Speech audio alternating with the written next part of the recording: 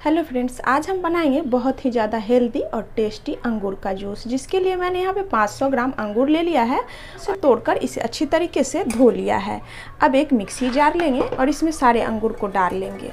अंगूर को mixie pot में डालने के बाद इसमें डालेंगे चार टेबल स्पून चीनी। चीनी आप अपने पसंद के अनुसार कम या ज़्यादा रख सकते हैं। और इस अंगूर के जूस को और भी ज़्यादा टेस्टी बनाने के लिए यहाँ डाल लेंगे एक चौथाई चम्मच काला नमक। मिक्सी पॉट में चीनी और नमक डाल लेने के बाद मिक्सी पॉट का ढक्कन बंद करेंगे और इसे चला लेंगे। अंगूर को हमने एकदम बारीक सा पीस लिया है। अब एक बाउल के ऊपर छन्नी डालेंगे और इसमें अंगूर के जूस को हम अच्छी तरीके से छान लेंगे। अंगूर को छन्नी में डालने के बाद इस तरीके से हम चमचे से हिलाएँगे तो अंगूर का जूस बहुत ही आसानी से निकल जाएगा।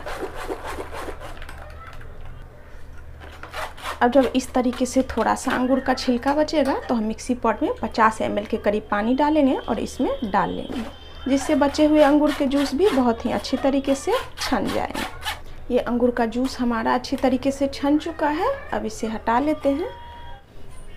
जूस को छन्नी से छानने के बाद अब इसे सर्व कर लेते हैं।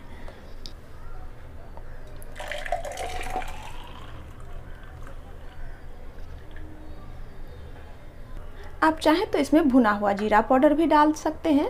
इस तरह से थोड़े से आइस क्यूब्स डाल लेंगे और मिंट के पत्ते डाल लेंगे।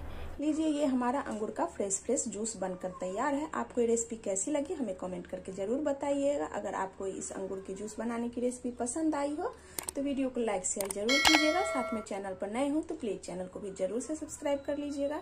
फिर मिलते हैं नई वीडियो में नई रेसिपी के साथ।